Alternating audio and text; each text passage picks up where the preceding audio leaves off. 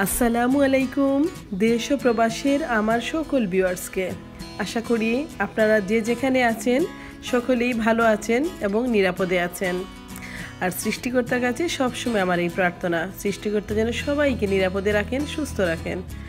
তো ভিউয়ার্স, আজ আমি আমার তৃতীয় ব্লগ আপনাদের সাথে শেয়ার করতে যাচ্ছি। আর এটা গত তিন দিন আগের করা ভিডিও, আমি আপনাদের সাথে শেয়ার করতে পারি নাই, সাথে সাথে। তো ভিউয়ার্স দেখতে পাচ্ছেন এটা যেদিন আমি করেছিলাম, তারপরের দিন সহ দুদিনের এটা করা ভিডিও এটা প্রথম দিন যেটা দুপুরবেলা আমি গিয়েছিলাম এটা সুপার শপে, গিয়ে মাছ কিনে নিয়ে এসেছি।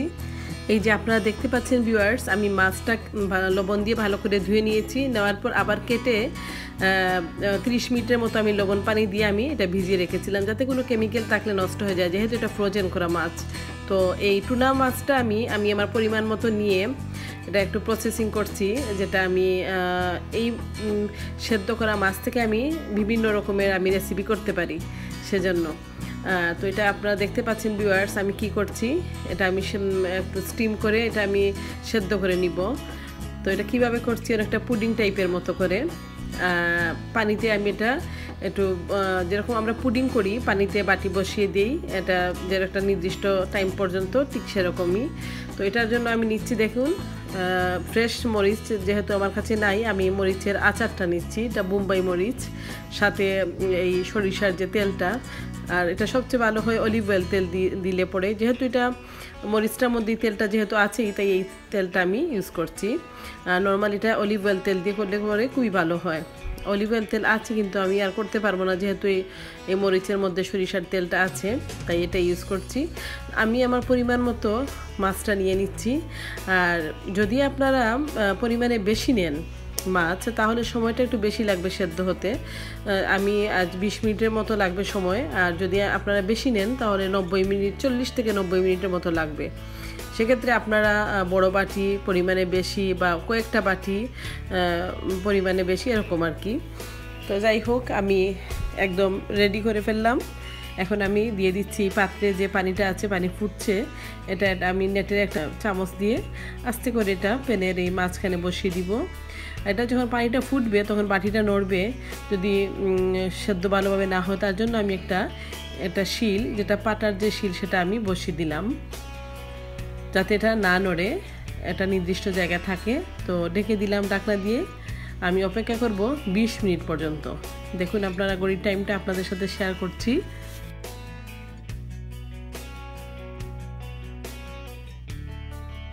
তো ভিউয়ার্স বিশ মিনিট পর আবার ফিরে এলাম। এখন আমি এই ডাকনাটা উঠিয়ে বাটিটা নিয়ে নিব। আপনারা দেখতে পারবেন, আপনাদের সাথে শেয়ার করব। আমি একটা কথা বলে নেই ভিউয়ার্স এই মাছটা জানি না কতদিন আগের এই সুপার শপে রেখেছে। কিন্তু যদি এটা সপ্তাহ খানিকের মাছ হতো, তাহলে এটা খুবই ভালো হতো। মানে এটা আমি একটা ভিডিওতে দেখেছিলাম যে এটা প্রায় তিন বছর পর্যন্ত আপনি নর্মাল টেম্পারেচারে আপনি রাখতে পারবেন, তিন বছর পর্যন্ত বাহিরে।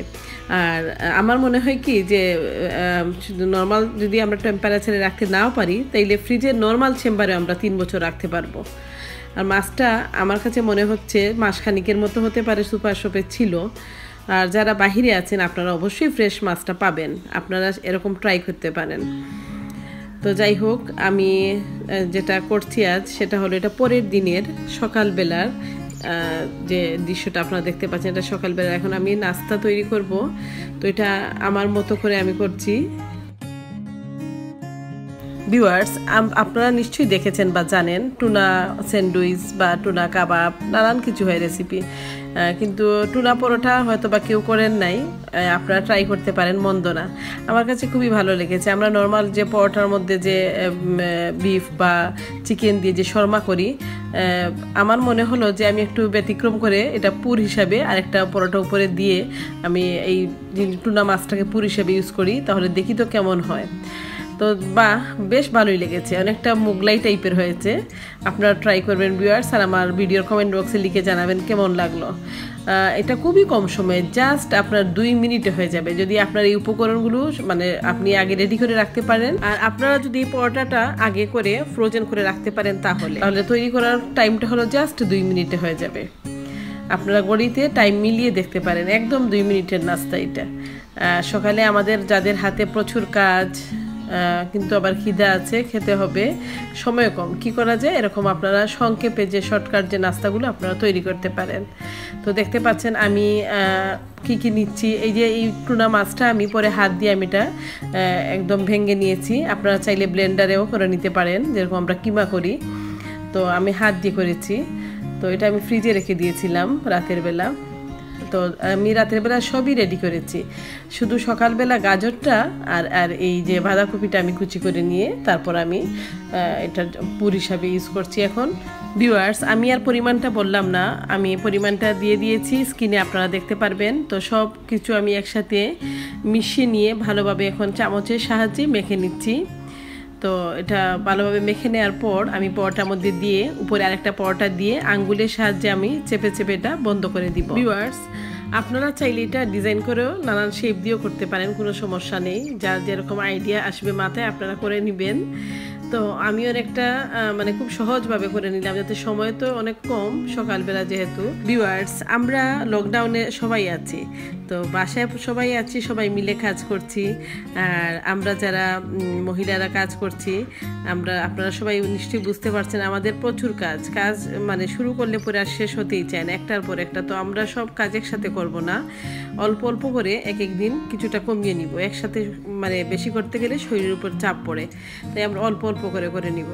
তো যাই হোক ভিউয়ার্স আমি দেখতে পাচ্ছেন ফ্রাই প্যানে আমি অলিভ অয়েল তেল দিয়ে দিলাম।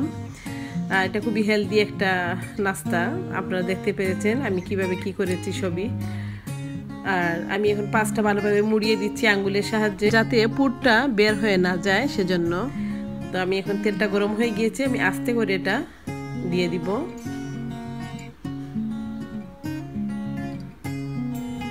দুই পাঁচটা ভালোভাবে বাদামি হয়ে গেলে কালার মানে ভাজা হয়ে গেলে আমি এটা প্লেটে টিস্যু দিয়ে উঠিয়ে নিব যাতে বাড়তি তেলটা টিস্যুটা শুষে নেয়।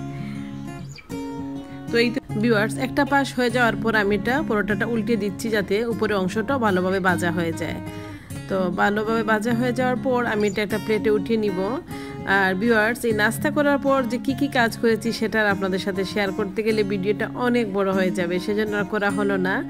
দুপুরে কি কি আমি রান্না করেছি সেটা আপনাদের সাথে শেয়ার করব। টুনা মাছের আরেকটা রেসিপি করেছি, তারপর সন্ধ্যায় নাস্তা কি করলাম সেটা, এই তো খুবই মানে ছোটো করে একটা ভিডিও করেছি আপনাদের জন্য আজ।